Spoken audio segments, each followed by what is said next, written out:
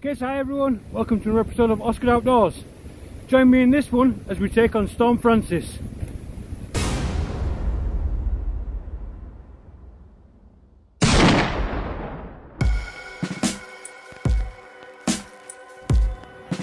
Starting to build up now.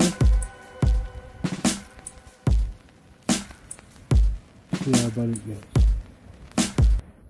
Right, so good morning people quarter to two in the morning now and I think it's about time that I got Dan back. Okay so as in the intro uh, I'm taking on Storm Francis um, with the English Woodsman and a gentleman we've come to lovingly know as Bushman Mick. Um, so yeah we're just going to get set up, uh, the winds come, the rain's come already so we're going to get set up and I'll bring you back very very shortly. Okay so welcome back everyone, it's taken me an absolute age to set up. Um, I was setting up next to Mick um, and then we just couldn't get the tarp configurations quite right. Um, I would have hindered him, he would have hindered me so I've come and moved away now so it gives a little bit more room and obviously I'll get a little bit of peace and quiet from my snoring as well which I've been told to do but I don't believe them uh, so yeah my setup tonight uh, I'm under Snugpak all weather shelter. Uh, this is the G1 and then I've got the Snugpak hammock cocoon and the tropical hammock on the inside of that and just a pillow I've also brought with my sleep suit, but I've not got um, that in there at the minute. That's under the communal sort of area where we are at the minute in my rucksack. Um, but what I've done now is I've I've raised my ridge line, my structural ridge line. I've raised it so I've got more of a banana hang in the hammock, and then I can attach things to it. Obviously, you can see this is my uh, pound shop light, and then I've got on here the little Olight ES1R or something similar, something similar. But yeah, all on this sort of washing line full of S-biners. Uh, so I'll show you what I've done outside and obviously to protect myself from Storm Francis. Uh, and then I'll go catch up and show you what we're going to have for tea. Okay, so this is the view from the head end of my hammock. I can see uh, my daisy chains running down there and the hammock cocoon. But what I've done here, if I can sort of bring that into shot for you, you can see these little S-biners just tucked into pound shop bobbles, giving me a bit of resistance, but also closing in the ends as well to sort of keep the wind off me and keep the rain off me a little bit more than just having the tarp open at this end. I've also tripled up my uh, pegging system, so I've got a one straight through the grommet of the tarp here. About 8 inches away, got a secondary peg, and then all the way up here, got a third peg. So I've got two backups should either of them fail. So yeah, you can probably see and hear that the wind's really picking up now. You can see on the top, it's getting a, a bit of a, a good blowing. Uh, but yeah, my personal gear today, I've come out in the Grizzlyman Patriot 6. Uh, I've done a review on this, so I'll leave that in the link in the description. Uh, but yeah, my full Patriot suit on and just a t-shirt underneath. Right, so while I've been buggering about with my setup, taking it longest tonight, not usual for me, uh, Dan's got us going. So tonight, because we're in the, uh, the private woodland that we've got permission for, and we've said before, we're not allowed open fires here. Uh, we brought out Dan's, what is it? Uh, F, no, 3F UL stove. 3F UL stove. And obviously, as you can see, we've got some like barbecue briquette type things going on there. So we're going to have a barbecue during Storm Francis. Can you beat that? Uh, but yeah, food tonight, we've uh, we've joined together uh, so Dan went shopping for this and I went for the beer. So Dan got us uh, four hot and spicy pork loin steaks. Well, package. Well, yeah, package. Uh, and then some barbecue beef kebabs.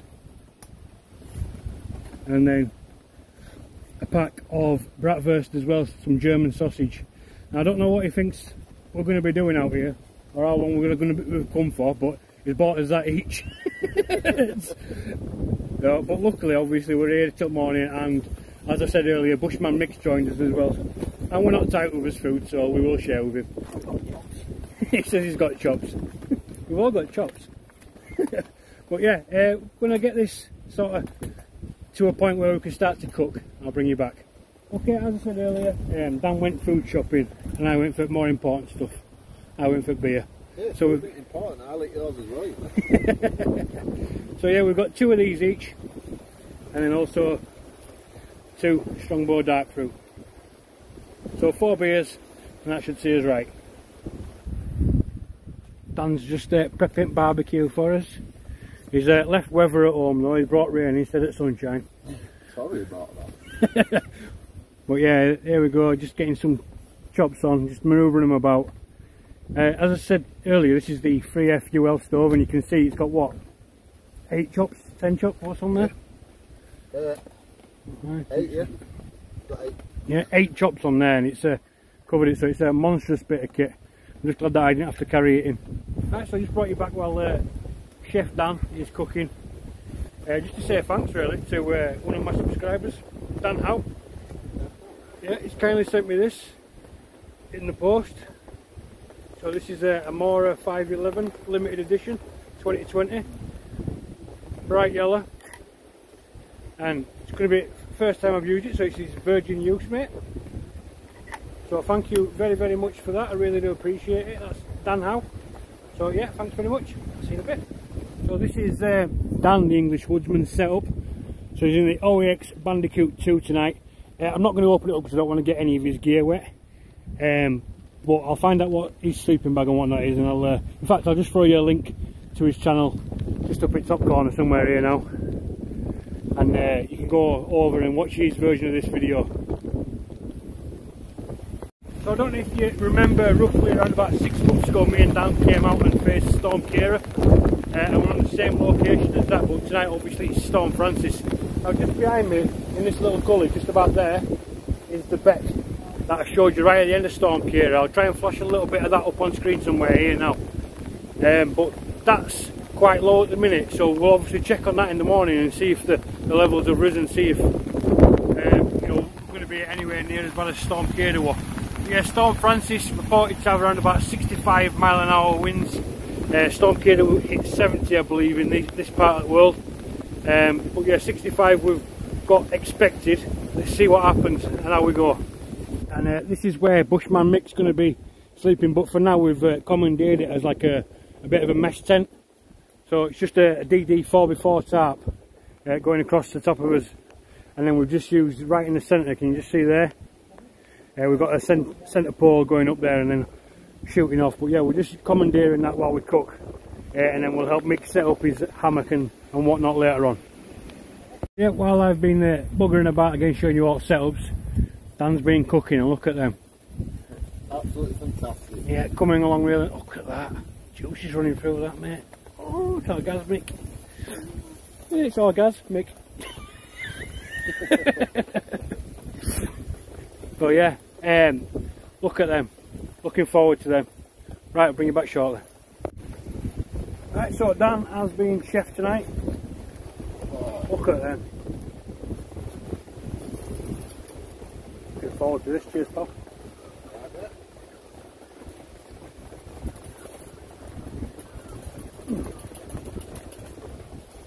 Barbecue in the woods. Have you ever done that? What's the most inventive meal you've ever made out in the woods? I think mine's got to be the steak chips and onion rings I did not so long back on my solo camp. Um, I'm not even asked you that, have I? What's the most inventive meal you've ever made? I'll say this on my camp as well, so we've got two going. Just what's the most inventive meal that I've made. Well, one time we were doing a chicken curry, right? And uh, we, went out, we didn't have enough chicken to go around all kids and me and Emma, but we had a pack of bacon. So I cut the bacon up, put it in with curry. And to this day, every time we have curry at home, kids always say, are we having bacon? and that's the truth. Now, it could be beef curry, chicken curry, whatever. The kids always want chopped bacon in it. Bacon curry. Yeah. And whatever else meat we use. You heard it here first people, bacon curry. Yeah, but other meat as well. Yeah. to try it. My kids absolutely love it. And we just did that because we didn't have enough meat to, you know, feed out a lot of us. We went fine enough, you know what I mean?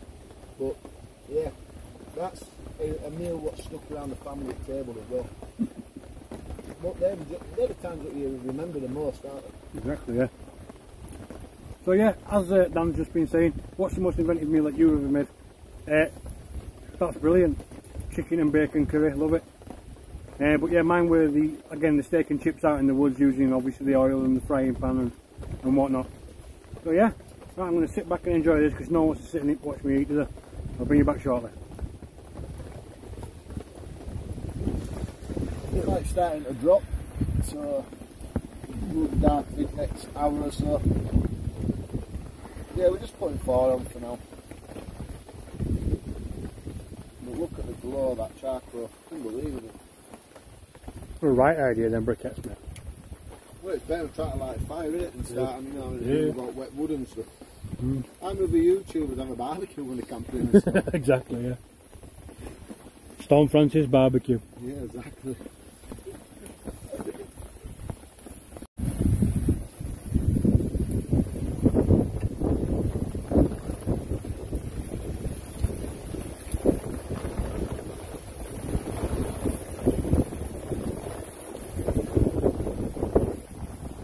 Can see, as Dan's uh, just turning these kebabs now, you can see that the wind's really starting to pick up. And we're starting to lose daylight now. It's coming up 20 to 8. So it, it is cracking on a bit now. But yeah, wind's picking up. Rain's coming in bits and bats at the moment. So I think it's going to be a long night just in hammocks. Well, in my hammock and you're in a tent, aren't you? Tent, Yeah. Yeah. I think it might be uh, long nights. Bring you back shortly. Alright, so yeah, I've had uh, another good night with Dan and Bushman Mick. Oh, my radio's going. Yeah, go on, mate. What are you doing? Uh, just recording at a minute. Can you see me uh, green light on the pen? Two seconds, I'll have a look.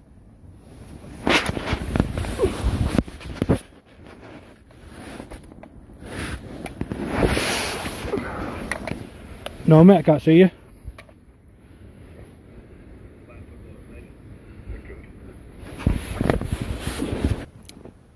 Yeah, so uh, another good night with Dan and Bushman Mick. Um, you might have just seen a little bit of a clip with the radios. Um, we brought them out tonight just to sort of test because we knew we weren't going to be sleeping sort of side by side against Storm Francis. Um, it's rained on and off all night, but we've just been sort of stood around the uh, little stove that we had, just sort of keeping ourselves warm that way and keeping ourselves entertained. Trying not to, you know, let the weather defeat us. Um, the big 4x4 tarps worked really well tonight. So thanks Bushman Mick for uh, providing that shelter for us. Brilliant.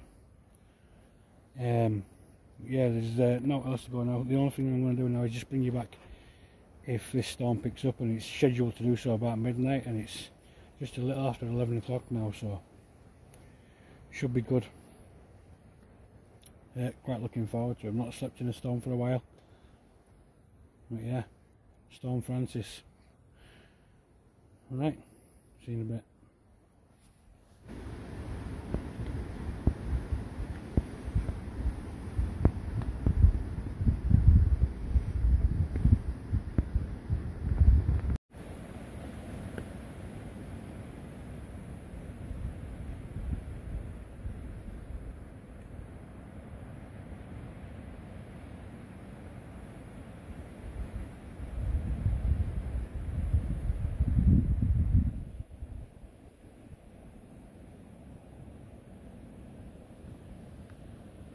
I think it's starting to build up now. See how bad it gets.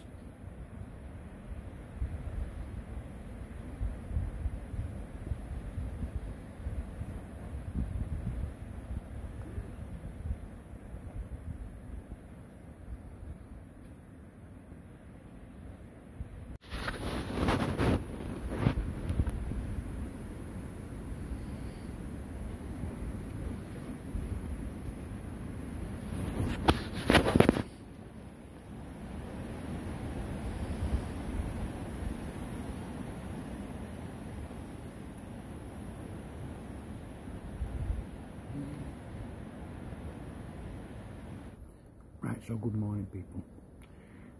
Quarter to two in the morning now. And I think it's about time that I got Dan back. Right, so good morning people. It's quarter to two in the morning. Now, if you're a regular subscriber to the channel, you'll know that over the last couple of months, Dan has uh, been playing practical jokes on me and leaving me in the woods on my own in the morning. Okay, so this is going to be a mild one, but I'm going to get him back today. Now, Dan doesn't like little fiddly things, little clips, little things like that. So I brought with me just a small carabiner. I'm just going to go and carabiner into his tent.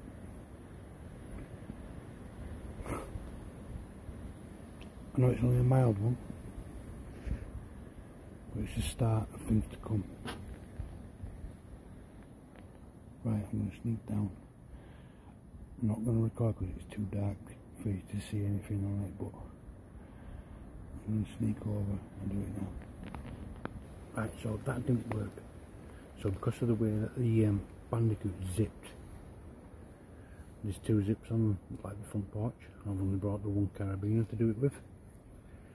So my idea now is to go and loop um, a guy rope between both zips and then peg it out.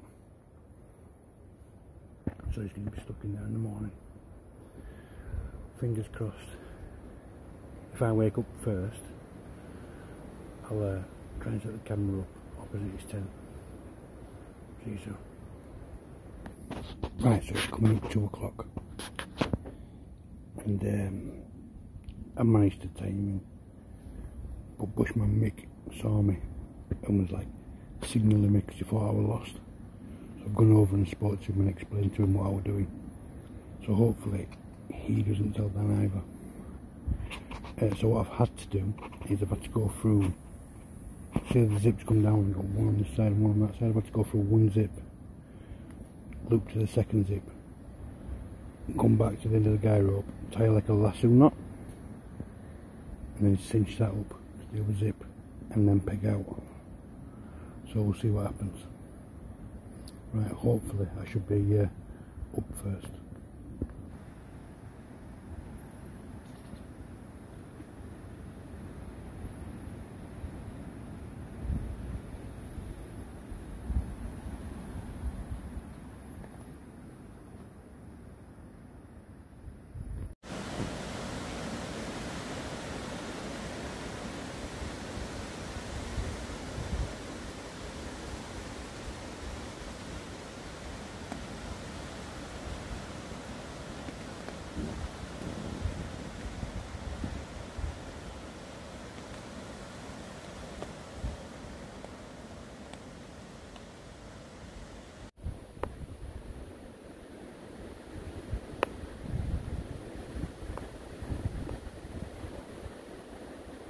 Good morning. So it's a little after half past five. You can see behind me here. It's starting to get a little bit light. I've uh, not heard from Donna's yet.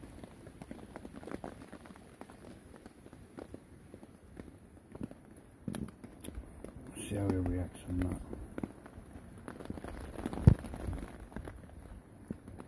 I know it's only a little sort of it's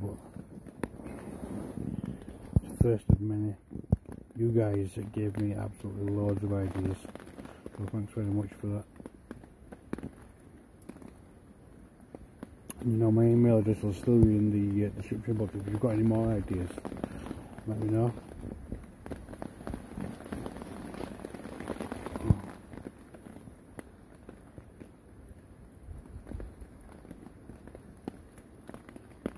Right, I'm just going to sit back and wait for him. Try and stay out of rain.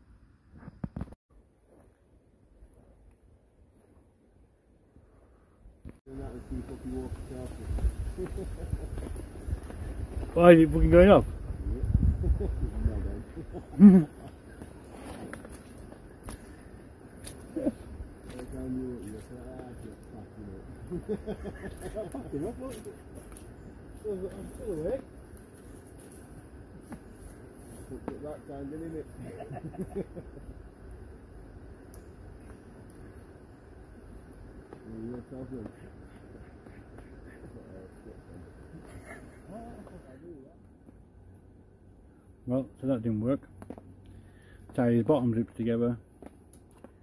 And then the walkie talkies I brought out must have been too close to that one, so they started interacting with each other, walking up. And obviously he tried to get out, and then I didn't realise he's got two way zips. So the top one he just zipped down instead of obviously zipping up. So I'm going to think of something different, especially when he's not in the bandicoot. This is what happens when you don't use this equipment. You don't know it. there he goes, look sneezing. Never mind her. Right, let me know something different.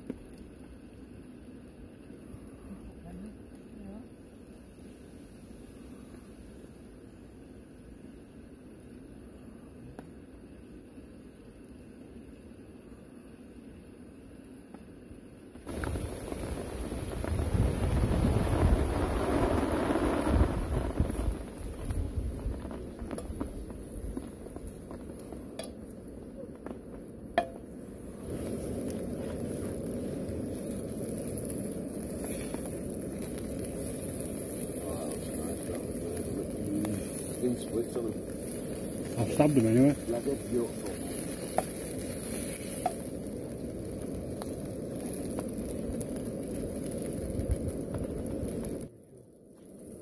Right, I'd say these are just about done now. So it's time to pick them off and get them eaten. Right, well, happy breakfast time, people. Bratwurst sausage first thing in the morning. So your boyfriend says.